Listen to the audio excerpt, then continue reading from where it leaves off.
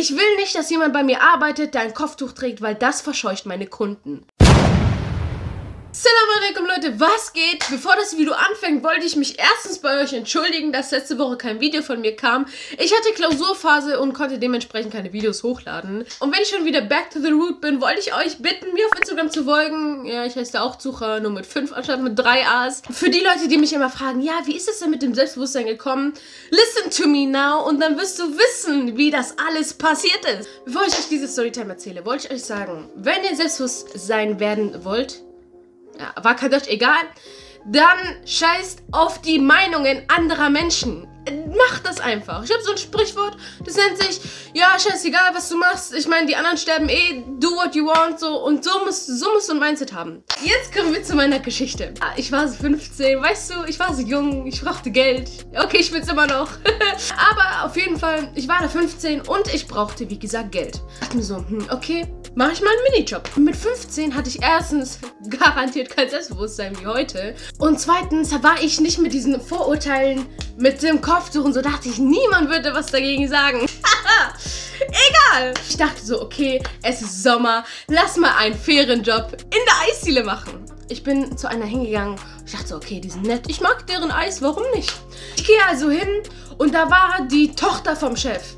Und dann meinte ich so, ja hallo, ich suche gerade einen Nebenjob und so, äh, einen Minijob, dies und das, ich bin Schülerin. Die meint so, hm, ja, ja, wieso denn nicht, ne? Kommen Sie mal zum Probearbeiten. Ich dachte mir so, okay, nice, direkt, bam, bam, bam. Kommen so also zum Probearbeiten am nächsten Tag. Ich habe mich fresh angezogen, bin hingegangen und dann gibt die mir erstmal so ein T-Shirt Boah, das, das war einfach ein Ranz-T-Shirt. Ich dachte mir so, egal, Hauptsache das war lang, oversized, war okay. Und ich dachte so, okay, ich mach direkt Eis. Nein, die hat mich erstmal in die Küche geschickt. So die ganze Zeit nur in der Küche, hab Eisbecher geputzt. Ey, das war überhaupt nicht so mein Gedanke. Ich dachte mir so, ich mach Eis und das war's. So, ja, aber ich möchte jetzt zum Eisdingen. Sie so, okay, dann hat sie mir das so ein bisschen gezeigt.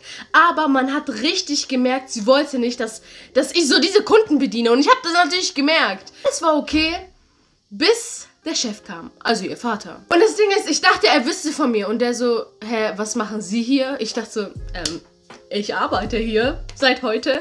Da meinte der so, kommst mal mit, kommst mal mit. Bitte, wenn Sie schon hier arbeiten heute, dann hinten. Und ich dachte mir so, wie bitte?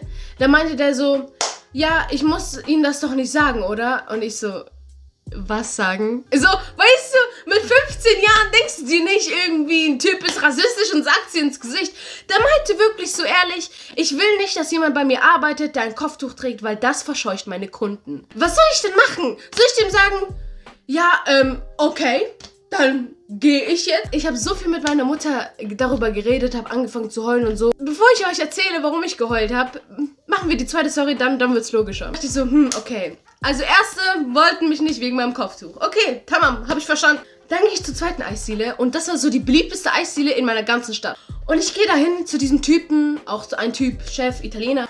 Und ich gehe zu dem hin, ich so, ja, ähm, ich suche einen Job. Und das meinte der so, ja, gar kein Problem eigentlich. Nur, ich möchte nicht, dass Sie Kopftuch tragen, während Sie meine Leute bedienen. Also, er hat es mir gesagt, bevor ich überhaupt angefangen habe zu arbeiten. Wisst ihr, wenn, das war so ein Kick, den ich von dem anderen Typen bekommen habe. Aber als ich den Kick bekommen habe, ich bin richtig ausgerastet. Ich meinte so, und wieso nicht? Wieso nicht? Es macht nichts. Wieso nicht? Und wieso nicht? Erklären Sie mir doch mal, wieso nicht? So, es hat nichts mit der Hygiene zu tun. Mein, mein Kopftuch ist wahrscheinlich hygienischer als ihre Schuppenhaare, ja?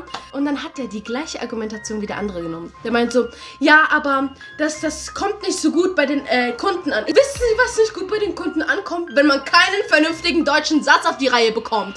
Subjekt, Prädikat, Objekt. Ganz einfach. gut. Ich habe jetzt zwar kein Hausverbot bekommen, aber ich gehe da freiwillig nicht mehr rein. Und dann, ich dachte mir so, egal. Ich sehe so eine deutsche Bäckerei und ich sage bewusst deutsch, damit ihr am Ende wisst, warum das so ist. Die suchen gerade jemanden. Und ich machte so, okay, perfekt. Ich gehe zu der hin. So ein bisschen, hatte ein bisschen noch Hoffnung. Wisst ihr, dieser kleine Hoffnungsschimmer. So ein ganz kleiner. Ich frage sie so, ja, hallo, ich bin Schülerin und äh, bin 15, bla bla bla. Ich suche einen Nebenjob. Einen Minijob beziehungsweise einen fairen Job. Sie so zu mir, okay, wissen Sie was? Sie kommen morgen zum Probearbeiten und dann, wenn es Ihnen gefällt, machen wir alles Vertragliche. Ansonsten nicht. Am nächsten Tag bin ich also zum Probearbeiten gekommen und das war Baba. Ich schwöre, die Leute waren toll. Ey, das Bedienen war geil. Ich war auch immer vorne an der Theke. Perfekt, so genau das, was ich mir bei einem Nebenjob vorgestellt habe. Und dann hatte ich aber immer noch diesen Tick, so, warum hat die mich nicht auf mein Kopftuch angesprochen? Weil es andere getan haben. Weil, and weil andere den Grund äh, genommen haben, dass das falsch ist in einem Job. Also gehen wir in die Küche hin, und ähm, machen alles Vertragliche aus und so. Und, die, und ich gucke sie so die ganze Zeit an, die so, ja, das sind ihre Arbeitsklamotten, Arbeitszeiten, Rechte, keine Rechte, bla bla bla. Dann hab ich, weil ich so, so Komplexe danach hatte wegen diesen zwei Typen, hab ich sie von mir aus selber gefragt, aber für sie ist das schon okay, dass ich Kopftuch trage. Und dann meinte sie so, ja, wieso nicht? Das ist kein Accessoire. Das ist eine religiöse Sache, die ich, die, die ich zwar nicht vertrete, aber die auch völlig legitim ist. Da meinte sie so, das Einzige, was bei uns nicht geht, ist aus hygienischen Gründen Ringe, äh, Uhren etc. Aber wenn sie täglich ein hygienisches Kopftuch tragen, ist das überhaupt nicht meine, äh, mein Problem. Das ist ja natürlich ihre Religion, die ich zu respektieren habe. Wisst ihr Leute, was das für ein Gefühl ist, wenn Leute dich einfach akzeptieren und ihre Akzeptanz durch solche Taten zeigen. Also Diskriminierung und Rassismus ist an sich schon krank. Aber noch kränker ist es, wenn Ausländer, andere Ausländer einfach diskriminieren. Das Lustige ist, ich konnte besser Deutsch als die. Ich konnte wenigstens einen richtigen deutschen Satz auf die Reihe bekommen. Ich bin pretty as hell. Und dann kommen die zu mir und nehmen mein Kopftuch als Grund.